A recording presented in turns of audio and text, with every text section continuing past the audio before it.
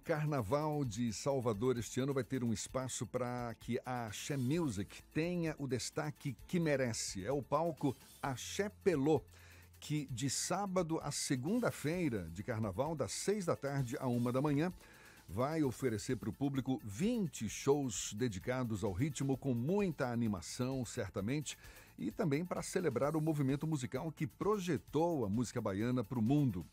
Uma das atrações é o cantor e compositor Paulinho Boca, nosso convidado. É com ele que a gente conversa agora. Seja bem-vindo, um prazer tê-lo aqui com a gente. Muito obrigado por aceitar nosso convite. Bom dia, Paulinho. Bom dia, Jefferson. Bom dia a todos que estão escutando a Tarde FM. Para mim é um prazer imenso falar com vocês, essa rádio que é a Bahia, que é referência e a gente fica muito feliz de estar mais uma vez, ininterruptamente, desde 1976, participando da maior festa popular do, plan do planeta. Teve uma Passamos época... por várias transformações e hoje estamos aí fazendo a festa mais uma vez para o Fulhão Pipoca. Pois... Tudo bem com vocês? Ah, tudo ótimo e um prazer mesmo, viu, ter, ter você aqui com a gente. E, e você está falando, né, ao longo de tanto tempo, carnaval, uma festa que se transforma. Teve uma época em que a She Music era, digamos, uma das principais marcas do carnaval. Depois a gente viu essa mudança para um carnaval mais plural, muita diversidade, muitos estilos diferentes. Nesse carnaval de agora, você vê, a gente vai ter um palco para valorizar a Axé Music. Como é que você avalia essas mudanças todas? Já era algo pensado na sua cabeça que a Axé Music, de certa forma, perderia espaço para outras vertentes, outros ritmos, por mais que ela ainda tenha a sua força, Paulinho? Olha, eu acho que o carnaval tem que ser plural, sim. Essa é que é a ideia de carnaval, é uma festa para todos. Então não é todo mundo que é axé music, não é todo mundo que é MPB, não é todo mundo que é rock and roll. E eu tenho visto que o poder público tem acertado em abrir esses leques para que o carnaval seja realmente plural, para que todo mundo possa participar. O que eu acho é o seguinte, eu veio muito antes do axé music. Eu comecei a cantar, Jefferson, poxa, vou falar, as pessoas podem até não acreditar, mas eu comecei a cantar como crooner de orquestra em 1963. Olha só. Em 1968, conheci Moraes Moreira e o poeta Galvão e juntos formamos o que veio a ser os Novos Baianos. Exatamente. O primeiro show da gente foi em 1969, não éramos Novos Baianos ainda, só ganhamos esse título quando fomos nos apresentar no Festival da TV Record, que era a grande vitrine da música popular brasileira, de onde vieram todos os grandes ídolos da música brasileira, que você falar um aí, Milton Nascimento, Chico Buarque, Caetano Veloso, Gilberto Gil, Tom Zé, Eli Regina, Jair Rodrigues, todos esses grandes ídolos vieram desta vertente aí do festival da Record, que era a grande vitrine daquele, daquele momento. Final né? dos anos 60, então, né? A gente também participou desse festival em 1969 e ganhamos o título de Novos Baianos então, eu sou muito antes da Axé Music. Eu curto a Axé Music, eu tenho várias pessoas da Axé Music com quem eu sou parceiro, me dou muito bem, mas nós vimos é, desde antes, né, nós somos MPB, daquela MPB bem bem brasileira, mas que é, ela é vista como uma das melhores músicas do mundo.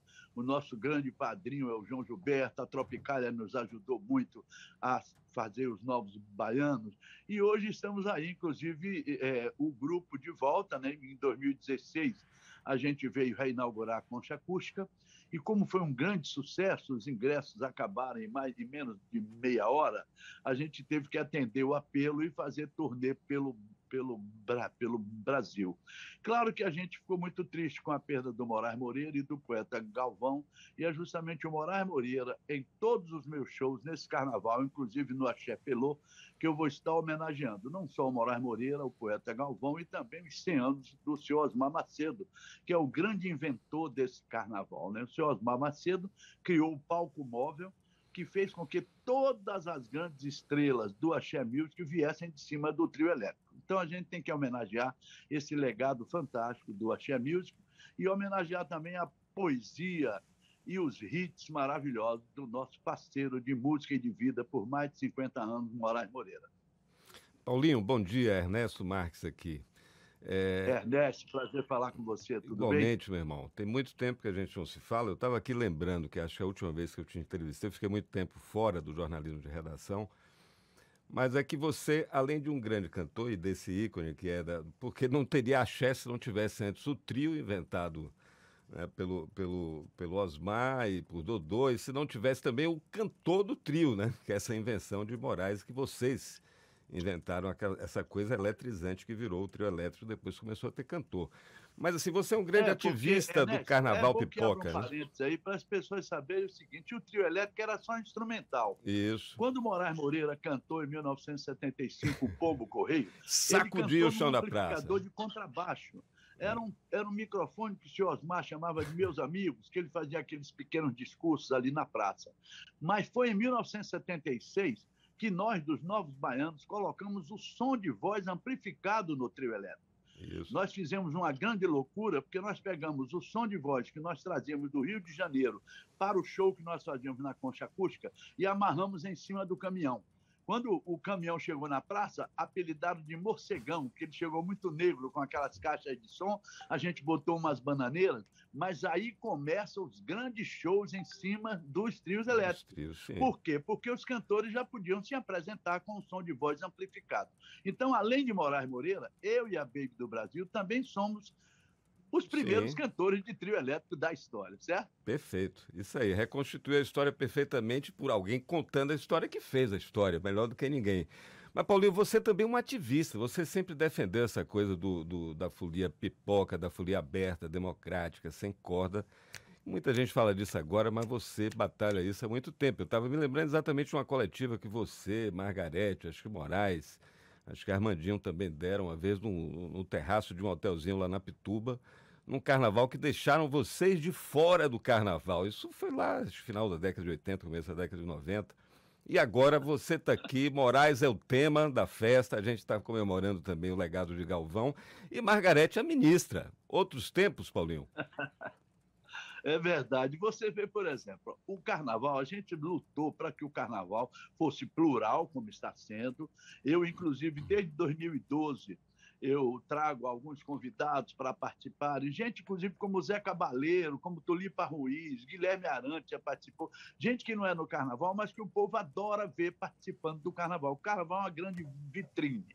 O que acontece, que eu vou até falar aqui um lance, mas sem nenhuma mágoa, porque nós somos novos baianos. Novos significa você nascer todo dia novo, sem mágoa. Então, o que eu acho é o seguinte: quem mais poderia homenagear o Moraes Moreira nesse carnaval seriam os Novos Baianos.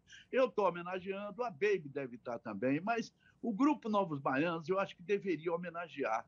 E fica até aí um apelo, se der tempo. Só falta o Pepeu. Eu e a Baby já vamos estar por aqui, o Pepeu e os músicos dos Novos Baianos, para a gente fazer uma grande homenagem ao Moraes Moreira com os Novos Baianos. Nós queremos homenagear também o poeta Galvão, que a maioria dessas músicas dos novos baianos que vocês cantam, Preta Pretinha, Dê um Rolê, Mistério do Planeta, a letra é do grande poeta Luiz Galvão, um poeta singular, fantástico, e que deu a cara dos novos baianos. Que nós somos um grupo, Ernesto, se você, você pode ver que eu não conheço outro grupo no mundo igual o Nova Baiano. Nós moramos juntos, nós fundamos uma nova família. A galera que gosta do Nova Baiano não gosta de uma música, gosta da vida da gente, gosta de todas, todos os discos. Isso, então a gente isso. nunca pode estar fora do carnaval. Além do mais, porque nós trouxemos novos ritmos para o carnaval, que era só frevos.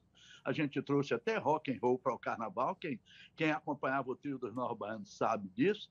E a gente também trouxe essa coisa da tecnologia da voz para que todos os grandes artistas que vieram depois, inclusive no Atia Music, se apresentassem no trio elétrico. Porque como é que iam se apresentar no trio elétrico se a gente não tivesse colocado um som amplificado de voz? E toda a percussão que tocava embaixo do trio, você deve se lembrar, não sei quanto tempo Sim, você tem, eu peguei essa mas época. a percussão tocava embaixo do trio. E nós amplificamos tudo, bateria, tudo amplificado.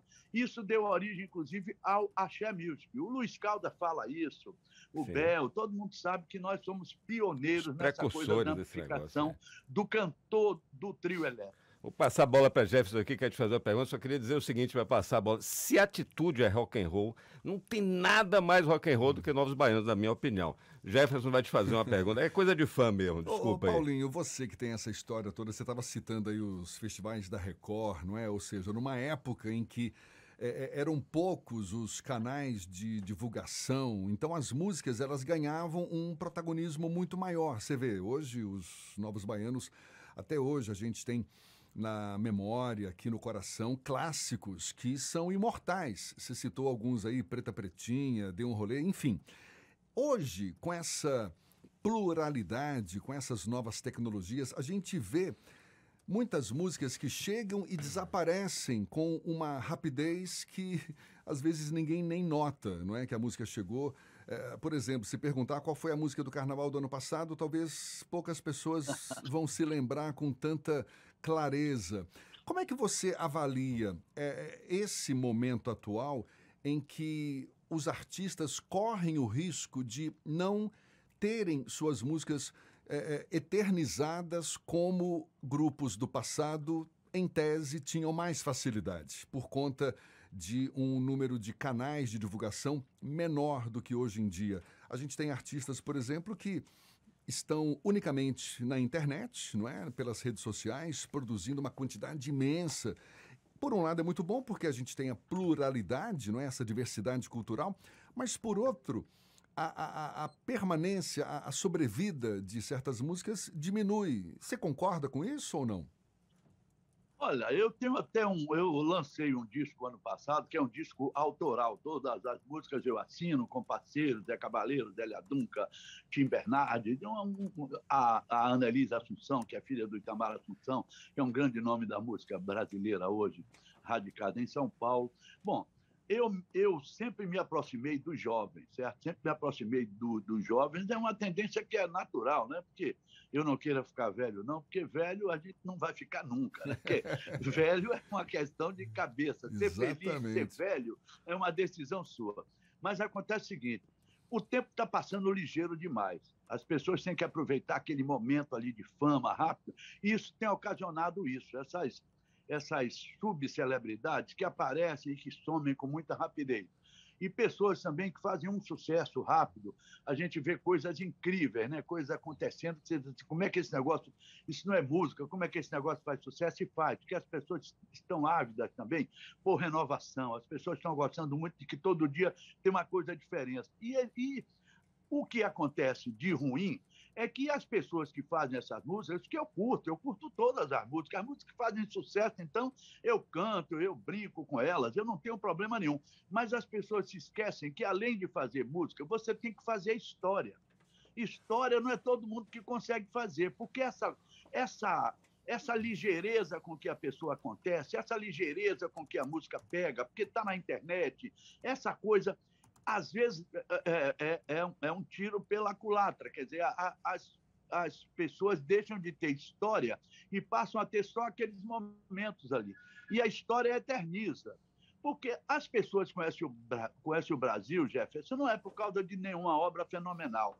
As pessoas conhecem mais o Brasil por causa da nossa música, por causa de músicas maravilhosas que conquistaram o mundo, como João Gilberto, como Milton Nascimento, como Chico Buarque, como Caetano Veloso, Gilberto Gil, Elis Regina. É por isso que as pessoas dizem que nós somos um país feliz, um país maravilhoso. E pode ter certeza que a música ajuda muito nisso Hoje nós temos figuras maravilhosas na música, cantando. E eu também percebo, igual você, que era necessário que as músicas durassem um pouco mais. Mas para isso tem que ter conteúdo, tem que ter uma história, tem que ter um envolvimento com a própria história do seu país, da sua cultura. Porque o nosso país, cara, é um país que tem uma cultura muito vasta, muito ampla, e a gente precisa cuidar disso. Não é porque você vai ganhar um troco ali fazendo qualquer coisa que você está cuidando da nossa cultura. Não pensem assim. Inclusive, a gente vê cantores, dupla sertaneja, que fazem o maior sucesso e ficam lutando para ver se entram na história e é complicado, porque para entrar na história você tem que ter muito a ver com a vida do povo brasileiro, não é só ganhar dinheiro com música, é, é defender o povo na hora que tem que defender, é participar dos momentos difíceis da vida brasileira, alegrando o povo, levantando o astral, como é o caso dos Novos Baianos. Você pode ver que na ditadura militar foi quando nós começamos, começamos em 69 os Novos Baianos. E a gente ajudou a acabar a ditadura militar como? O cara começou, o disco acabou chorar e começa dizendo bestetu, bestetu, não mundo, acabou chorando, ficou tudo de manhã cedinho, preto enquanto corria a barca, enquanto o mundo está andando. Depois falamos que nós somos os mistérios do planeta. Então, é por isso que as músicas ficam, porque elas se identificam com a própria história do seu povo. Agora, para brincar, para curtir, para que na semana que vem você nem lembre mais como é que é a música, aí tudo bem, porque o sabonete também acaba, né? Você usa, o sabonete acaba e acabou. Mas canta, Vira um canta, canta a bola então, para quem está hoje, é, a rapaziada mais jovem, não é? Que já nasceu com o dedo ali no, no computador, tá super inserido nesse contexto tecnológico. Qual é a fórmula para fazer história com tanta diversidade, com com tanto é, recurso que acaba tornando o seu produto uma coisa mais efêmera. Como é que consegue isso, Paulinho? A primeira coisa é que você não vá para trás, mas tem que olhar para trás. Se você não olha para trás, você não sabe quem foi Pixinguinha, se você não sabe quem foi João Gilberto, se você não sabe quem foi eh, Jacó do Bandolim, se você não sabe quem foi Dilermano Reis, se você não conhece a história da música brasileira, eu, por exemplo, eu tenho um trabalho que eu fiz que é interessante as pessoas verem. Eu fiz um trabalho sobre a música da Bahia, né, que vem, que a música da Bahia é muito importante. O Brasil nasceu aqui. Então, a primeira música gravada no Brasil, que o Brasil só pegava música gravada de fora. A primeira música gravada no Brasil é de um baiano chamado Xisto Bahia, né, o Lundu Isto é Bom, e, que é de, e quem cantou foi um outro baiano, Manuel Pedro dos Santos, esse pessoal aí do lado de Santa Amaro, de Cachoeira, que a grande história vem daí. É a barriga do Brasil, como diz o, diz o Roberto Mendes. Então, tem que saber a história um pouco. Por exemplo, quem é um grande ator? Um grande ator é um cara que estudou tudo de teatro. Você vê os grandes atores, eles se diferenciam por causa da cultura. As pessoas têm que ter cultura, as pessoas têm que entender a sua história. Aí sim, para poder fazer música. É igual a, a, a, ao que o João Gilberto falou uma vez. Vou contar essa história aqui, que é engraçado. O Chico Buarque foi mostrar uma música para o João Gilberto. O João Gilberto adorou. Aí o Chico falou: não, é que eu queria colocar essas músicas aí no disco. Aí o João Gilberto falou: tudo bem, as músicas a gente pode colocar. Agora você precisa primeiro colocar sua voz para poder cantar, que o Chico não cantava muito bem.